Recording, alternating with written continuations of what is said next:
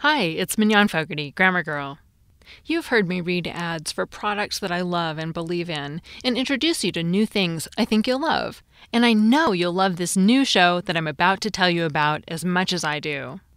Supposedly, three out of five people dream of writing a book one day. If you're listening to this show, there's a chance that you're one of them. Screenwriter John August was also one of them. He'd been successful with films like Charlie's Angels, Big Fish, and Charlie and the Chocolate Factory, but he had this nagging feeling that he needed to write something different. The story of how he wrote his book is the subject of a new podcast called Launch. Launch is about making things and about putting something out into the world and having no idea what will happen next. Launch is written and hosted by John August. And I've listened to his Scriptnotes podcast for years, so that's how I know you're going to love his new show. And we have a special preview of Launch for you today. You can subscribe to Launch on Apple Podcasts or wherever you're listening to this right now. Here's the preview. Hi, my name is John August. If you Google me, you'll see I'm mostly a screenwriter. I wrote Big Fish and a bunch of other movies. Two years ago, I started writing a novel. It was something I'd never done before and knew almost nothing about. At the same time, I started recording interviews with authors and agents and publishers and everybody remotely connected to this book I was writing. I didn't know exactly what I'd do with all those interviews, but I had questions, and I figured I might as well get the answers on tape. Now, my book is coming out. Two weeks from today, you'll be able to buy it in stores. This podcast is about how that book got there, how I wrote it, how I sold it, and how publishing works. Not just as a business, but literally how books are printed and shipped. We'll be talking about success and failure, school librarians, book tours, typefaces, and how the shadow of Harry Potter looms over everything. As I'm recording this, I know how it all begins, but I don't know how it ends. Will my book get good reviews? Will it sell? Did I make the right choices along the way? You'll find out when I do. From Wondery, this is Launch, a podcast about making new things.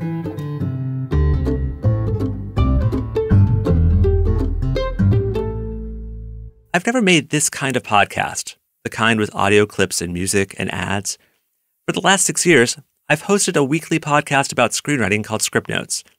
One of the recurring bits is that my co host Craig hates podcasts. As you know, I listen to exactly zero podcasts, including this one. Me, I love podcasts, all kinds. I currently subscribe to 65 of them. One of my favorites of the last few years is called Startup. You've probably heard it. It tells the story of Alex Blumberg as he struggles to establish a new company. Week by week, you can hear it grow and change. The basic format is that Alex talks directly to you and tells you what's going on, sort of like I'm doing now. When you go back and listen to it a second time, you realize there's some sophisticated techniques he's using. For example, this will be probably the biggest and um, most long term project of all your projects. That's my agent, David Kramer. You just have to make that, that decision for yourself, how you see the next several years of your life. See that? I'm foreshadowing that there's a big choice I'm going to have to make a life changing decision, and I'm going to have to make it by the end of the episode. One of my other favorite shows is called Planet Money. They did this series called The Story of a T shirt, where they track the process of making a t shirt from growing cotton to delivery. I love stuff like that process. So let's go back to the beginning of this whole adventure. Let's see how it all started. If you listen to a bunch of podcasts, you start to notice some tropes. Like Whenever you hear this kind of drone, you know something bad is about to happen, especially if there's an out of tune music box playing. And then the narrator says something like On June 19, 1977, a young boy went missing in the mountains of Colorado. His family was camping in the Roosevelt National Forest along the Middle St. Vrain Creek. It was hot that afternoon. Still, average lows for June dipped into the 30s. A boy in shorts and a t shirt was at risk for hypothermia, particularly if he got wet. The more immediate concern was bears. Black bears were frequently sighted in the area, attracted by an easy meal from the campground trash containers. Bears are foragers, they rarely attack adults.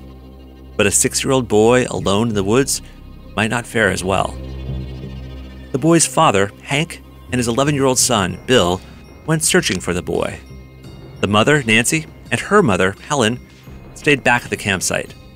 They yelled the boy's name until their voices went hoarse. This is the story of what happened to that boy in the woods. I should explain here that six year old boy is me. I didn't get killed or abducted. It's not that kind of podcast, remember? This story about getting lost in the woods is really important for understanding why I decided to write this book. It pretty much explains why I am the way I am. Here's how my mom remembers that day. We were up in Camp Dick, which is a Forest Service campground. We'd gone up probably on a Friday night, so we had had lunch. Your grandmother and I were sitting chatting, and you and your dad and your brother Bill were going to go exploring around. So you left. Pretty soon, I can't tell you exactly how long it was, but here come your dad and your brother, but no you. And I said, Where's John? John wasn't there. I probably got a little teary eyed, like, Where's my kid? Here's my brother Bill. Mom started calling for you, and mom was kind of freaking out, like, you know, John, John, where are you? So finally, your, your dad and, and Bill decided they would go back out and look. And it seemed like it took forever. I was a smoker back then. I'm sure I lit a cigarette, you know, and probably smoked it down to the nub. You know, she was scared. She, you know, she didn't know where, where you were. You know, it's the forest. You know, you know, it's you, you don't know what kind of animals might be out there. To my family, this is the tale of how John got lost in the woods. But the truth is, I wasn't really lost. This is what happened. See, I'd found this trail and I was curious where it went. So I followed it. There was a little creek and I, I made my way across the rocks. I wasn't actually that far away. But I also remember like hearing you and not going back. Does that sound like me? Yes. if truth be told, yes. I mean, because um, if, if you were busily involved in something, uh, here again, you know, mom could wait. I could hear their voices calling for me. But there was another voice, this inner voice that was louder, more insistent. It was urging me to keep going a little further, to see what was around that next bend. So I kept walking. That's when it happened. I can't tell you what it was exactly. The air felt sparkly, the trees were vibrating. I had this feeling of awe, like I'd wandered into some ancient mystical site. I was six years old, and everything felt electric. I don't know how long I stayed there or why I left, but eventually I turned around and walked back. And um, here you come, back. And, you know, then I really cried because I was just so glad to see you. Something happened that day in the woods. I don't know what it was, but I have the echo of a memory, this sense of wonder. I've been chasing it all my life. Maybe you feel it too? That notion that there's something hidden just out of sight, just around the bend. All I know is I see a trail and I want to take it. I'm still that boy in the woods. Let's fast forward 38 years. This is when I first spot the trail that leads me to write this book. It's October 30th, 2015. I'm in a hotel room in Austin, Texas. It's 9:57 a.m. and a massive storm is raging outside. I press my phone against the window to take a video because it feels like a movie. Winds are howling, lightning fills the sky. On a nearby building, I can see this American flag. It's whipping so fast, I think it might tear off. It's been like this for days. The airport is shut down because the traffic control tower is flooded. I mentioned the storm because it explains why I didn't leave the room much that weekend. If the weather had been better, I would have explored the city or had beers with friends. Everything would be different. I wouldn't be telling you this story. I'm in Austin for the film festival, but there's one work phone call I have to make. Hello? Hey, Kenneth, it's John August. His name is Kenneth Oppel. He's a novelist. He's written this book called The Nest. It's about a boy who discovers that magical insects are planning to steal his baby brother. Some producers sent it to me because they think it might be a movie. That's most of what I do as a screenwriter. I adapt books into movies. Oh, first off, Yeah. is it okay if I record this? Yeah, yeah, fine. Okay. Um, when I first read your book, it seemed really creepy for what I, I had originally been pitched as a kid's book. And so I guess I was confused about sort of like what were the rules of a book that is designed to be read by young readers. Do you get that question a lot? all the time. I mean, I just came back from a, a week uh, book tour in Italy and uh, talked to a lot of adult audiences who had very, very profound sort of ethical and philosophical um, questions about the book and responded to it um, in ways that I was I was glad to hear about because there's a lot of subtext to the book.